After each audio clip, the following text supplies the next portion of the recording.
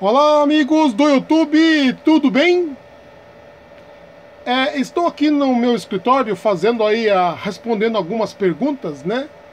E como sempre, algumas são de interesse para a comunidade, para a comunidade dos criadores de peixe em caixa d'água.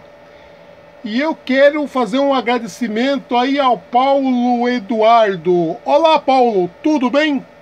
Muito obrigado por seu comentário, ele veio em boa hora. Ele vem falando aí sobre a questão da limpeza, né, da, da bomba, da, de, da máquina de lavar.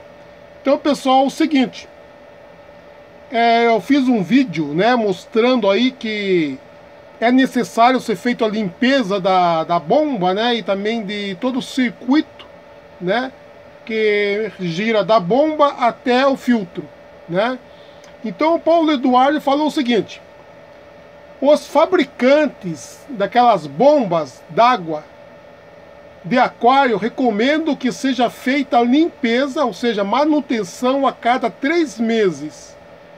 Tenta abrir elas e fazer uma limpeza para, é, para impedir né, que a sujeira aí atrapalhe então a circulação de água.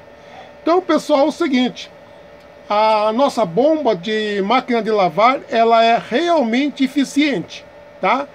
Então, o conselho aí que nós estamos passando para vocês é a cada três meses você então retirar aí a, a bomba, né? É, o cano que leva até o filtro e fazer uma limpeza. É bastante tempo, né? E você, eu fiz isso aí essa limpeza aí nos 10 minutos, se desconecta ali a borrachinha, tá? Coloca, desconecta a parte de cima também aí que está fixa do, no filtro e faz a limpeza aí do cano e também da bomba.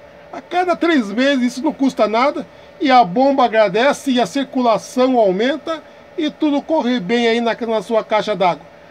Embora seja rápido a, limpeza, manutenção, é necessário a dica, né?